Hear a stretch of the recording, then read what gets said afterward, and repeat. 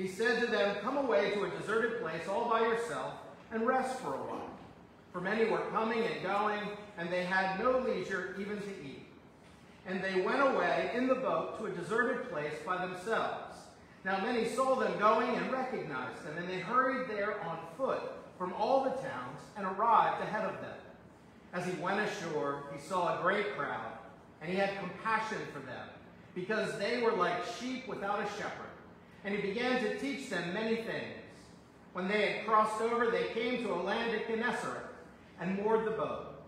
When they got out of the boat, people at once recognized him and rushed about that whole region and began to bring the sick on mats to wherever they heard he was. And wherever he went, into villages or cities or farms, they laid the sick in the marketplaces and begged him that they might touch even the fringe of his cloak. And all who touched it were healed. The Gospel of the Lord. Praise to you, Lord Christ.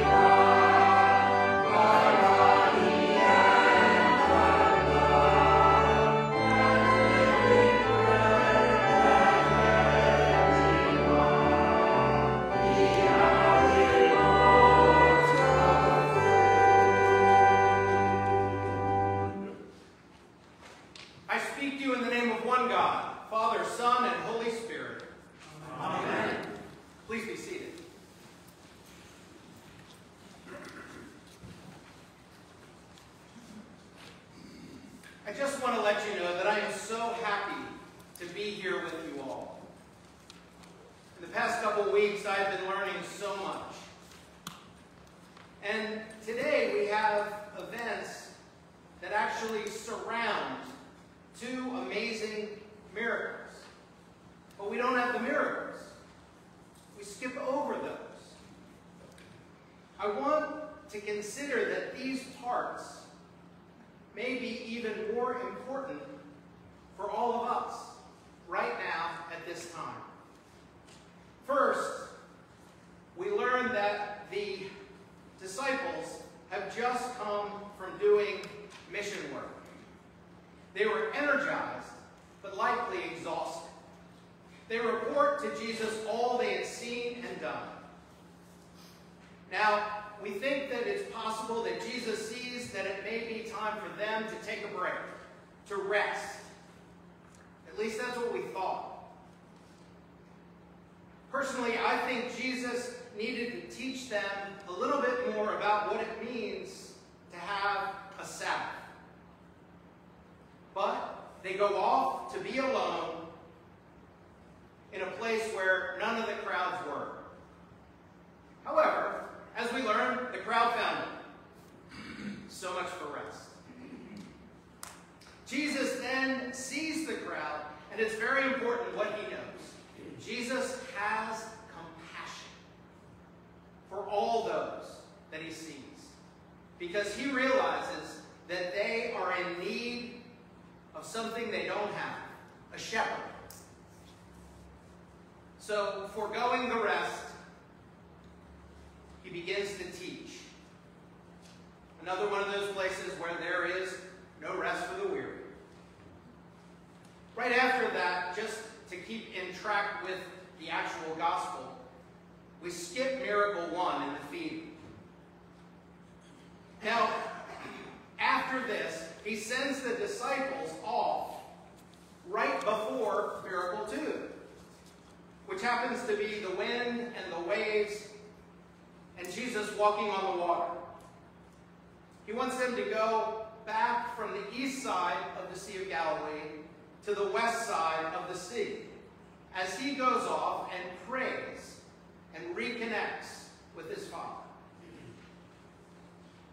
before the boat makes the shore, there is this second miracle. And the only reason I point it out is because as we learn from that text, Jesus sees his disciples fighting to cross over to the west side of the Sea of Galilee. Now, for those that have been to the Sea of Galilee, if you have, you'll understand why this might have been a struggle. If you haven't, there are a couple things to point out, just generally. First, the wind off the Mediterranean Sea goes from the west to the east. Pushing about 1 or 2 in the afternoon, it starts to blow. And if it is a blustery day, it's coming till 6 or 7 o'clock at night. And it's solid.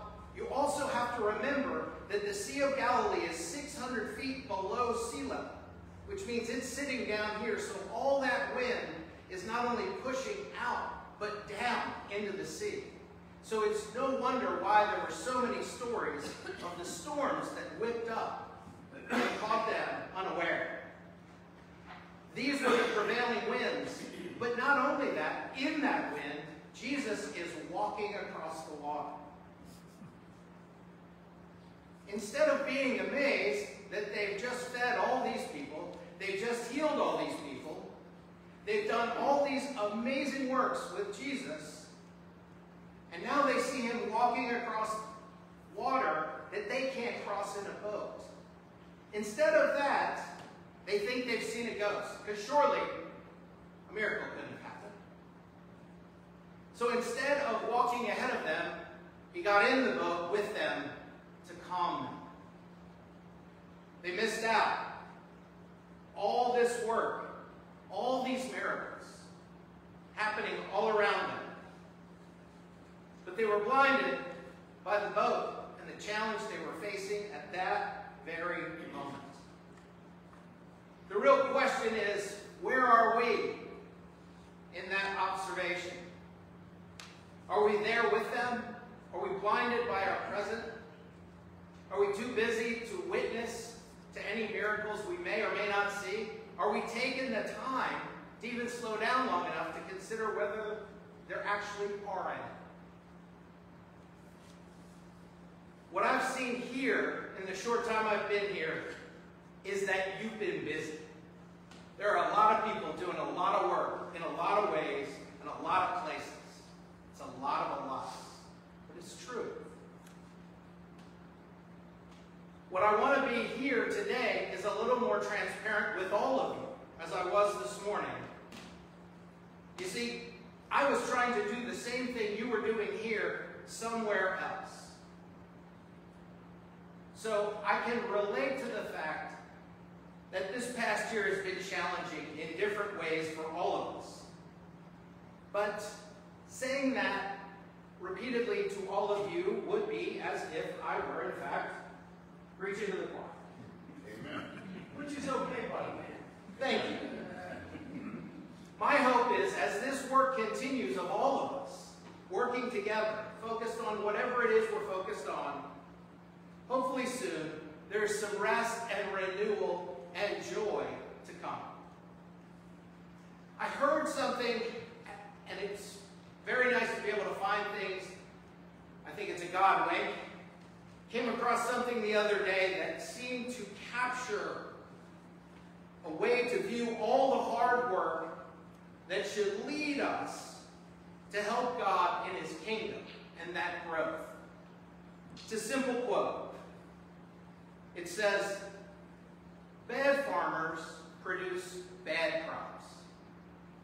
Good farmers produce good crops, uh, an abundant harvest. A great farmer produces good soil. In other words, a great farmer, a great disciple is in it for the long term, not for the crossing of the boat or for the moment where they're missing out on the miracles around them. This is a time and a place where we all need, in our busyness, to make sure that we pause and look around and soak in some wonder. However we do it, whatever we've seen, we should also remember that even in the midst of all our busyness, even in the midst of all the things that are going on, we need to pause and thank God truly. We need to reset our focus on the good soil as well as a good harvest. Yes, we want a good crop to come. But we need to also trust a little bit more, at least the preacher preaching to himself, that God sees all that effort. And not only will the harvest come, but so will the soil. We must also ask in prayer and then look for the miracles that happen along the way. As well to trust that God will multiply all those efforts in our prayers, in our hopes, in our focus, in our efforts. Because you see, if we don't do that, that is when we begin to lose energy and our hope starts to fade. God calls each and every one of us to rest, to Sabbath, as they say. And I will tell you very clearly, as I learned in seminary and as a clergy person, I learned about Sabbath. What I learned was that my Sabbath was usually not the same time as the community. And that's okay. I also learned that you have to find Sabbath sometimes. It's not going to find you. And that's okay. After a full week, a complete week of learning all about the hard work as you prepare the soil here, I was very impressed. I remained impressed. But I was also feeling a little bit tired. Again, it was a good tired, but it was still tired. I had big plans to give my brain a break and do some much needed manual labor at home, which could be any number of manual labors, but they're usually way down on the list, and I need to catch up. I was just seeking to take a pause, to shut off my brain. And that was until things changed. And for about the past 48 hours, I have spent my time in sort of a roller coaster of events involving a friend at Sentara Norfolk. As our gospel noted, and as I realized,